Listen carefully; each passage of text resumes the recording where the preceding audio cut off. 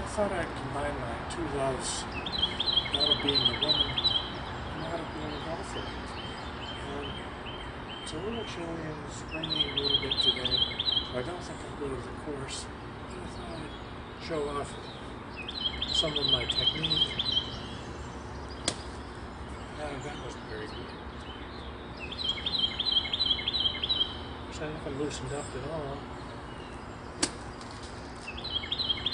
It's not good. See what it looks like from the front.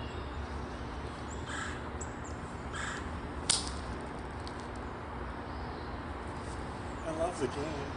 I think I look pretty good.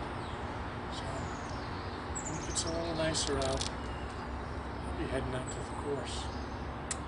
Bye bye. And I'll be wearing a little more proper shoes for the golf game.